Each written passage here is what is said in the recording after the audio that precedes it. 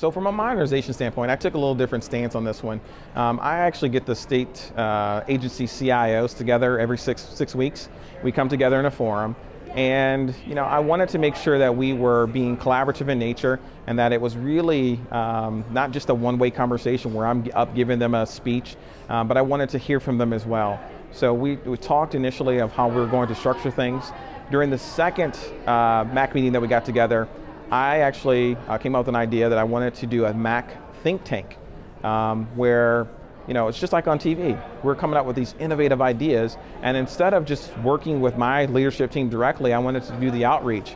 And what we learned from that, that um, uh, initiative was that uh, basically there were shovel-ready ideas that we could share across not only, say for instance, at JFS, but we could actually share that over at Department of Aging, the Department of Transportation. There was so much of collaboration that was taking place that we were originally only supposed to be there for about an hour and a half, but it ended up being about two and a half hours.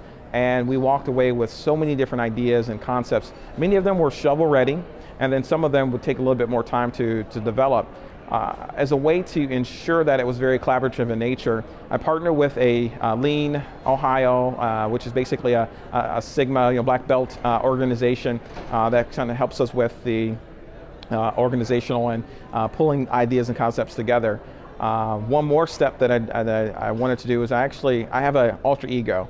Uh, not many people know about this alter ego, and so I figured if I were to expose this, this would create the ultimate collaboration environment. So I actually DJ'd the event. Uh, with custom DJ drops. Um, so typically when people see me in a suit, you know, that's not the persona that they, that they see.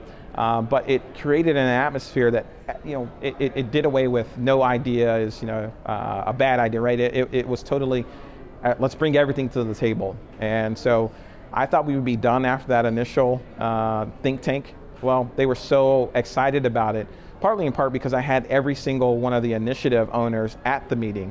Recovery Ohio leader was there, uh, Alisha Nelson, the Children's Initiative leader was there, LeeAnne Cornyn, uh, the Innovation Ohio team was there.